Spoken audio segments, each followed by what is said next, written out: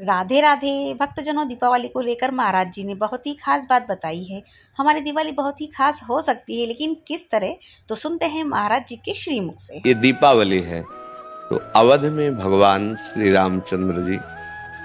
तो ये उत्सव मनाया गया दीप, संपूर्ण अयोध्या दीप से प्रकाशित है। भगवान श्री राम चौदह वर्ष वनवास के बाद अवध में जो है, विराजमान हो रहे चक्रवर्ती सम्राट पद पे। तो ये अब इसे हम घर घर हमें लगता है पूरे भारत में मनती होगी। सद्भावना तो है पर हमको ये समझना पड़ेगा कि जैसे हम दीपावली उत्सव में जुआ आदि खेलने लगते हैं लोग नहीं खेलने लगते कि भाई बा, साल भर तो हम नहीं खेलते पर दीपावली को तो खेलें। क्यों भाई? कहा लिखा हुआ है कि आप दीपावली को वो अपराध करें जिसमें कलयुग का वास रहता है जिसमें बड़े बड़े धर्मात्माओं की भारी भारी विपत्तियाँ आई। धर्मराज युधिष्ठिर, महाराज नल, दमयंती बड़े बड़े पावन चरित्र हैं महापुरुषों के। क्यों? द्युत कीड़ा में कलयुग का निवास है। कलयुग, शराब पीना, मांस खाना पर स्त्री गमन करना, स्वर्ण चोरी करना द्युत कीड़ा करना। द्युत माने जुआ खेलना। तो जैसे दीपावली को ज़्यादा तो हमें ज्ञान नहीं, पर गाँव में हमने देखा था कि जो लोग नहीं खेलते थे, वो भी खेलते थे। आज हम दांव लगाएँगे पर प्रभु से। पूजन करो अपने प्रिया प्रीतम का या भगवत विग्रह किसी का और बैठ जाओ माला लेकर के। बारह बजे रात्रि तक खूब नाम मंत्र जप करो। बड़ा शुद्ध कई गुना बढ़ करके लाभ मिलता है। दीपक जला लो घी का, खूब गुरु मंत्र जपो, नाम जप करो द्युत कीड़ा आदि नहीं, ये सब ये सब आपको असत मार्ग में ले जाएगी। तो ये जो हमारा त्योहार है, इसका आंतरिक भी स्वरूप है। हमारे हृदय में भक्ति कर दीप, प्रेम कर बाती हमारे अंदर ज्ञान का प्रकाश, जैसे हम घर में दीपक जलाते तो अंधेरा जाता है ना। बाहर के अंधेरे जाने से हमारे हृदय का अंधकार तो नहीं मिटेगा ना। तो हमें हृदय का भी अंधकार नष्ट करना है। जब बाहर की दीपावली इतनी खुशी दे सकती है तो अगर अंदर की दीपावली हो जाए तो कितना आनंद आ जाएगा? फिर तो हम आनंद सिंधु में डूब जाएँगे। कौन सा दीप अंदर जलाया जाता है? भक्ति का दीपक और प्रेम की बातें। अगर भक्ति का दीपक, प्रेम की बातें हो जाए तो उस प्रकाश जो प्रकट होता है, उसे ज्ञान कहते हैं। उस ज्ञान से ये जितनी भी चिंता, शोक, दुख, मृत्यु आदि का भय है, ये सब नष्ट हो जाएगा।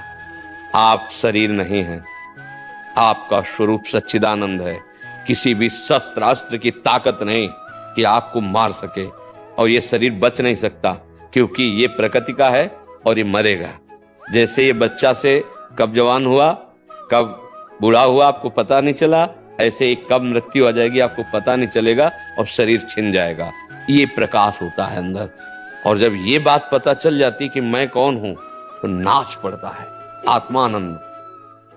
यज ज्ञातवा स्तब्धो भवती।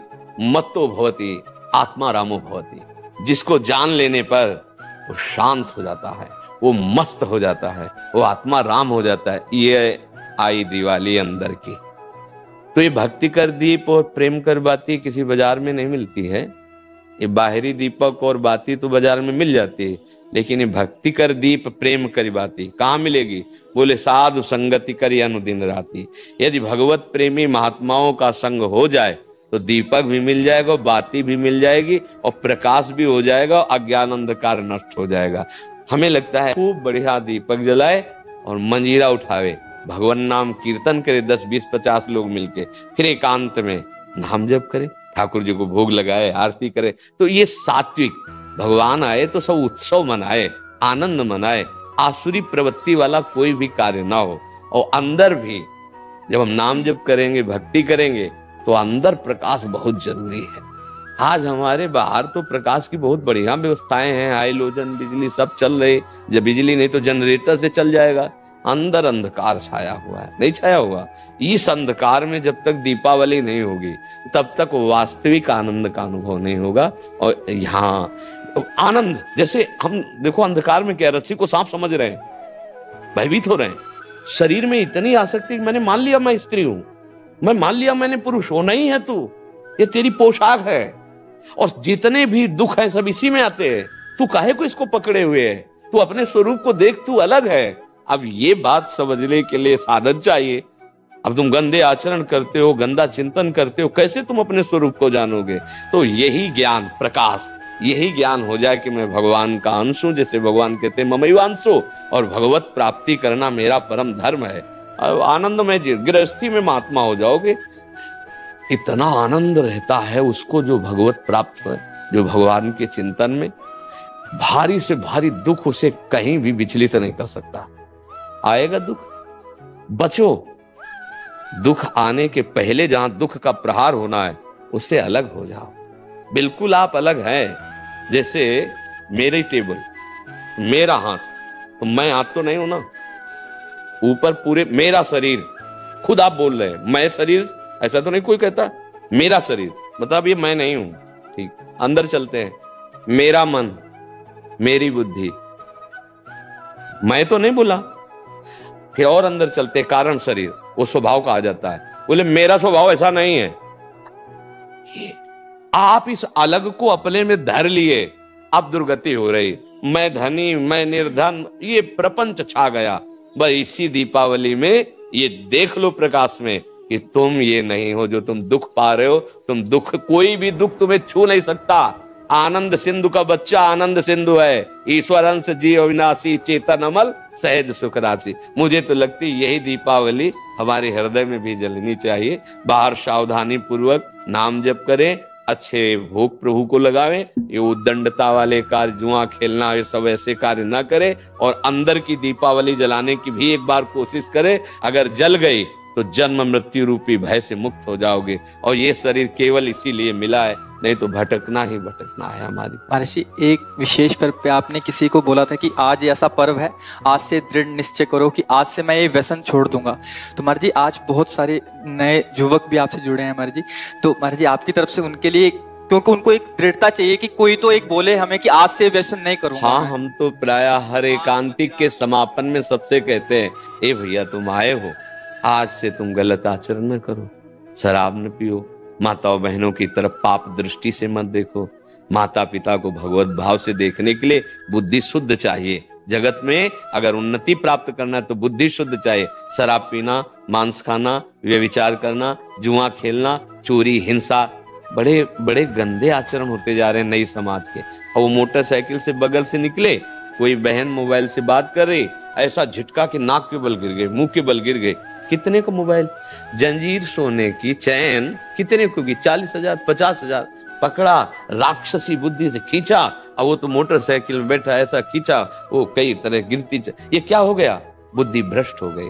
हमें लगता है कि अगर हमारी बात आपके कान तक पहुँचे, जो तुम्हारी दुर्गति कराने वाली बात है, अगर इसको छोड़ दो तो हमें सुख मिलेगा कि हमारा भारत देश का समाज, एक धार्मिक समाज एक शांति प्रिय समाज और स्वयं परमानंद में डूबने वाला बन जाए। ये तुम्हें नशेबाजी, गंदे आचरण भरा। देखो ना क्या परिणाम होता है। मान लो दो चार बार नहीं पकड़े गए आप, लेकिन जब पकड़े जाओगे तब तब ऐसी पिटाई होगी यहाँ। और आजीवन का अगर छूट भी गए तो यहाँ से तुम भले छूट जाओ किसी प्रमाण देकर, लेकिन एक और न्यायालय है, जहाँ राय पाई की चूक नहीं होती, कोई घूस नहीं चलती, वहाँ के न्यायालय से डरो। पक्का।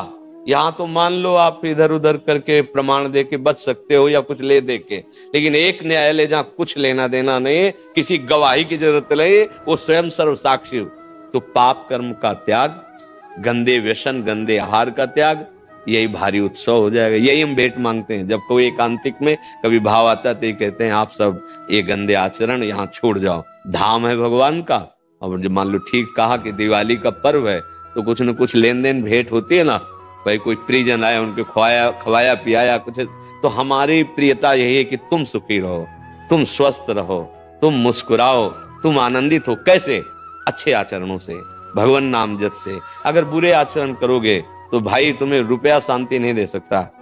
देखो, कोई वो चूक ना कर देना, जो घर में, गाँव में और समाज में आप ऐसे उठा के ना देख पा रहे मात्र कुछ चंद रुपए के कारण जब हमारी बात बिगड़ जाती है तो हमारी पदवी और समाज की प्रियता सब नष्ट हो। एक गलती ने पूरा मिटिया मेट कर दिया। कोई अधिकारी जी थे तो उन्होंने मात्र दस हज़ार रुपये की वो, प्रियता में उनको उन्हीं के अधिकारी जन जो क्राइम विभाग कहते हैं, वो उनको ऐसे बुरी तरह पकड़ के ले जा रहे थे। तब मुझे किसी के दबाव और प्रलोभन में आकर कभी वो मत करना। कि एक न्याय और विभाग है, वहाँ तुम्हें कटघरे में खड़ा किया जाए। क्योंकि सबका न्यायाधीश श्री कृष्ण है। वो जब न्याय करता है तो वहाँ किसी गवाही की ज़रूरत नहीं रहती। आपका पद, आपकी जो योग्यता, वो हमारे समाज के मंगल के लिए आप नमक रोटी खाओ, भले आप कष्ट से जियो, लेकिन आप आँख झुकाने वाले नहीं बनो। आँख में आँख डाल के बात करने की क्षमता रहे और अपने पद के द्वारा अधर्म को दंड देने की क्षमता रहे। अगर आप गलती कर दिए तो पढ़ाई, लिखाई, माता, पिता, समाज, इससे आप आँख नहीं मिला पाएँगे, सब व्यर्थ हो जाएगा। ये क्यों व्यर्थ हो जाता है? जब हमें ये बात समझ में आती कि धन में सुख है, बुद्धि भ्रष्ट हो गई, पतित हो गई बुद्धि। नहीं, धन में सुख नहीं, धर्म में सुख है। आप देखो ना, बहुत आप अधर्म पूर्वक धर्म ले तो आप देखो आपका परिवार बिखर जाएगा, अशांति पैदा हो जाएगी। ऐसी संतानें पैदा होंगी जो आपको हर समय देखकर जलाती रहेंगी। पक्का विश्वास मानना, अधर्म के धन से कभी सुख शांति नहीं मिलती। और ये अधर्म तभी होता है जब हमारी बुद्धि खराब हो। और बुद्धि खराब तभी होती है जब ये छह बातें होती है। पक्का समझ लेना, शराब पीना, मांस खाना परिस्त्री से या पर पुरुष से व्यविचार करना और हिंसा करना और चोरी करना। द्युत कीड़ा आदि, चोरी करना, जैसे ये चोरी ही मानी जाती है। अधिकार के विपरीत आचरण करना चोरी ही मानी जाती है। ये जब होगा तो कलयुग बैठ जाएगा, कलयुग को ये स्थान दिए। और कलयुग जब बैठ जाएगा, तब दुर्दशा करा देगा। एक बड़े धर्मात्मा महापुरुष की बुद्धि में बैठ गया कलयुग। वो मुकुट लगाने के कारण जरा संद का तो एक ऋषि के गले में मरा हुआ सर्प डाल दिया और कारण बन गया मृत्यु का। सात दिन में तक्षक काटेगा, ऐसा संगी ऋषि ने साप दे दिया। इसलिए बहुत सावधान। हाँ हमारे पास भगवान की कृपा से जो आपका आना हुआ है, आप नशा रहित, आप गंदे आचरण रहित, एक अच्छे मानव बने, तब आप में देवता बनने की सामर्थ्य आवे, दैवी संपदा आवे, फिर आप चाहो तो नारायण बन सकते हो। जब नारायण नर बन सकता है तो सीढ़ी हुई ना तो आप इसी से चढ़ सकते हो। नर नारायण बन सकता है, क्योंकि हम उसी के अंश हैं तो इसलिए सत्संग का लाभ ले और व्यसनों को त्याग दे। वृंदावन में बैठे हो, अगर नियम ले लो तो बहुत बड़ा सहयोग मिल जाएगा। भाई, कोई कसम खवाई जाती तो मंदिर में नहीं चका जाता। चलो मंदिर में। तो एक मंदिर क्या यहाँ तो धाम है, चौरासी कोस ब्रज। यहाँ नियम ले लो, शराब नहीं पियेंगे, मांस नहीं खाएँगे, पराई माता बहन को गंदी दृष्टि से नहीं देखेंगे, चोरी नहीं करेंगे, जुआन नहीं खेलेंगे, हिंसा नहीं करेंगे। ले लो, अंदर से। जो नहीं करते हो तो धन्यवाद के पात्र, जो करते हो तो बताने की ज़रूरत नहीं। नियम ले लो। मंगल हो जाएगा। जो यूट्यूब से सुन रहे हैं सोशल मीडिया से सुन रहे हैं वो कैसे लें? हाँ जब हम बोल रहे हैं तो वचन कान में गया और वो साक्षी मान ले। वो हमारे वचन को साक्षी मान ले संत वेश को साक्षी मान ले और उनको पावर न मिले तो बताना। जो दवाइयों से तुम नशा नहीं छोड़ सकते बात मान लेना। वो पावर आपको अपने आप पहुँच जाएगा। और वो ना करे तो इस ढांचे में बोलने की सामर्थ्य ने आप सच्ची समझ लेना। ये दिमाग जो काम कर रहा है हमारा नहीं कर रहा है शरीर का। हाँ ये श्री कृष्ण का कर रहा है ध्यान रखा ये वो तो वो तो अपार सामर्थ्यशाली है। आप ये शराब मत पीना, मत पियो। आप देखो, आप में सामर्थ्य आ जाएगी। आप ये वचन पकड़े रहना, जहाँ भी होगे, वहीं श्री कृष्ण है। तो भक्तजनों, कैसी लगी आपको महाराज जी की ये दीपावली के उपलक्ष्य में बनाई हुई वीडियो? अगर आपने इस वीडियो को पसंद करा है तो महाराज जी की वीडियो को एक लाइक कर दे और कमेंट्स बॉक्स में राधे राधे लिखना ना भूलिए। जल्दी मिलते हैं महाराज जी की एक और वीडियो के साथ। जय श्री कृष्णा, जय श्री राधे।